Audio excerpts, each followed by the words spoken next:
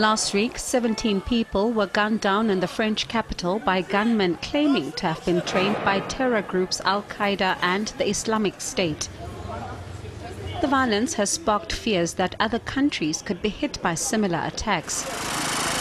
When American symbols were under attack in the 90s, Cape Town's Planet Hollywood restaurant was targeted. And recently, there's been widespread condemnation of South Africa's role in the torturing and illegal rendition of Pakistani national Khalid Rashid.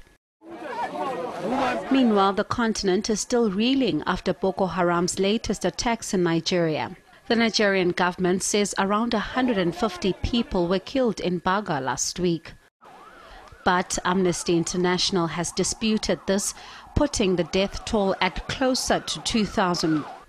Some reports have suggested that South African troops could soon be sent to Nigeria. The possible deployment has led to concerns the country could become vulnerable to attacks on home soil. South Africa is not immune.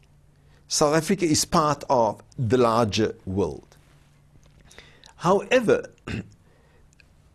well, firstly, I wouldn't be surprised if cases of terrorism or recruits for these terrorist outfits do leave the South African shores in order to perpetrate such acts abroad um, or to be trained uh, in it.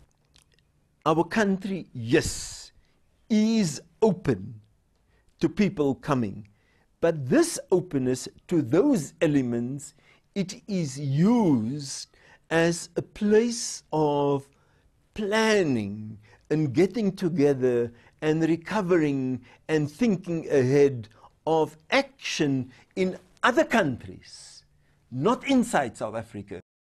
Wanted international terrorist Samantha Lewthwaite, aka the White Widow, spent time in South Africa in 2010 and 2011. She's one of the suspected masterminds behind the deadly siege on Nairobi's Westgate Mall in September 2013. Bongiwe Kumalo, Johannesburg.